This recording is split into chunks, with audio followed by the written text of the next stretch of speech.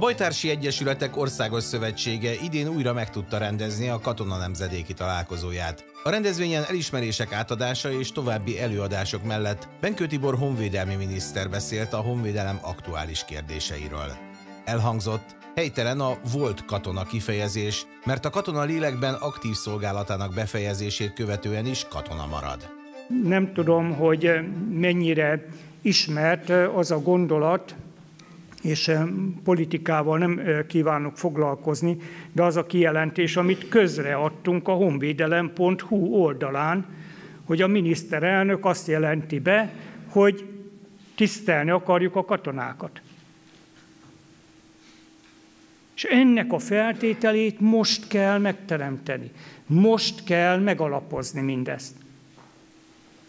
De ezt csak közös erővel tudjuk megtenni. Meggyőződésem, hogy igenis a nyugállományú katonáknak köszönhetünk sok-sok mindent, amire mi most tudunk építkezni. A miniszter szerint akkor várhatjuk el a társadalomtól, hogy tisztelje a katonákat, ha viselkedésükkel, szolgálatukkal ezt kiérdemlik. Az idősebb generáció tudja igazán pályára orientálni a fiatalokat, hiszen rengeteg tapasztalattal rendelkeznek. Most már 29. éve kerül sor katona nemzedékek találkozójára, és eh, hát most 21-ben független a pandémiás eh, helyzettől lehetett látni, hogy az érintett személyek nagy lelkesedéssel vesznek részt ezen a találkozón. Tehát ebből is eh, lehet azt érzékelni és látni, hogy ennek igazi hagyománya van. Miért fontos ez?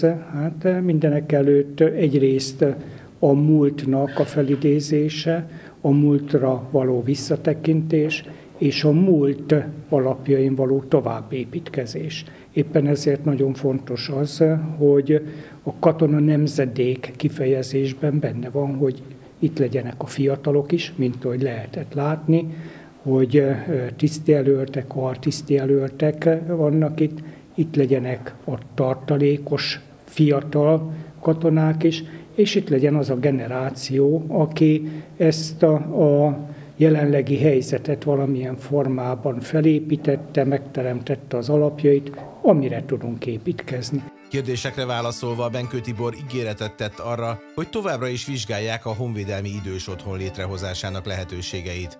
Mint mondta, a témában országos szintű igényfelmérés indul el. Egyébként a honvédségi nyugdíjasok gondozásának helyzetéről, a megoldandó kérdésekről többen is tájékoztatták a minisztert. Igazából ami a pozitív hozadéka volt, az az aktivitás, a hozzáállás, az, hogy 29 év után is 29 alkalommal is meg tudtuk tartani ezt a rendezvényt, és még mindig van értelme a katona nemzedékek találkozójának a megtartásának, hisz pont ugye 29 is ugyanezt bizonyítja, mert fontos a nyugdíjasoknak, fontos a leendő generál katonáknak és az aktív katonáknak úgy szintén.